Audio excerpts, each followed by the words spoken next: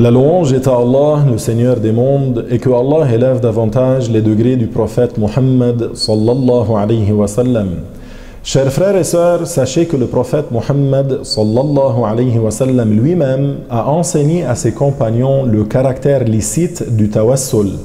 En fait, c'est lui-même sallallahu alayhi wa sallam qui les a enseignés comment faire le tawassul. Le tawassul est le fait de demander à Allah un profit ou une protection par la cause d'avoir mentionné le nom d'un prophète ou d'un saint, par honneur pour ce prophète ou ce saint, car les prophètes et les saints ont un degré élevé selon le jugement de Allah. Tout cela se fait en croyant que c'est Allah qui crée le profit et la protection, et non pas le prophète Muhammad.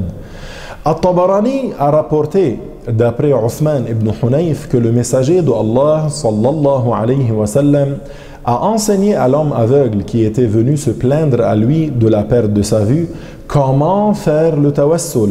Il lui a ordonné d'aller faire le wudu, ensuite d'accomplir deux rak'a et puis dire Allahumma inni as'aluka wa atawajjahu ilayka bi nabiyyika Muhammad nabiyyir rahmah.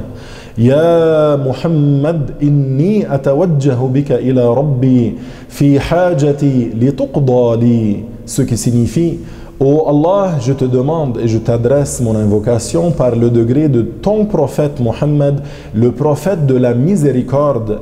Ô Mohammed, j'adresse mon invocation par ton degré à mon Seigneur concernant mon affaire pour qu'elle me soit réglée.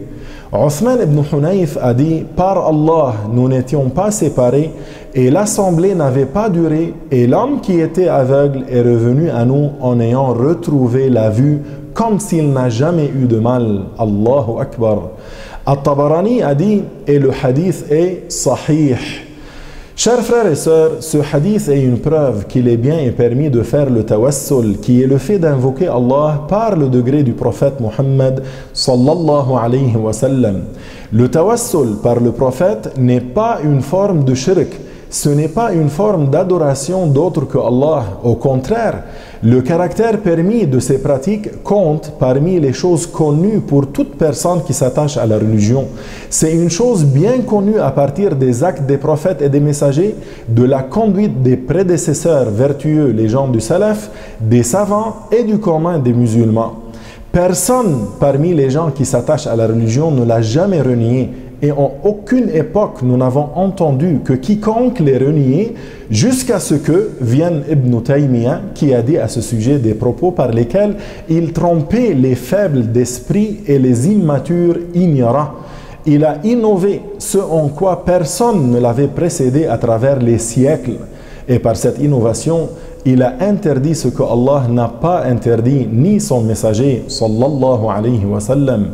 L'interdiction du tawassul par les wahhabites et leur soutien n'est finalement qu'une vaste entreprise destinée à priver les musulmans de la bénédiction des prophètes et des saints et destinée à faire passer l'ensemble des musulmans pour des mécréants, alors ne prêtez aucune considération au dire des wahhabites parce qu'ils sont un secte égaré qui ne fait pas partie de Ahl-Sunnah wal Jama'a.